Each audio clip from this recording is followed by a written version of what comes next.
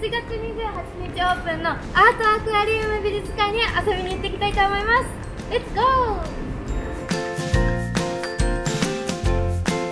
めちゃくちゃ幻想的です。水の音がめっちゃ綺麗。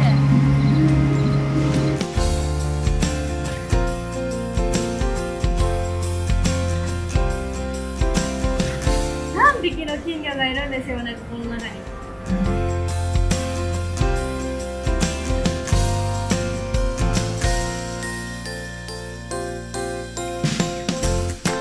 はいということでアートアクアリウム見てきました。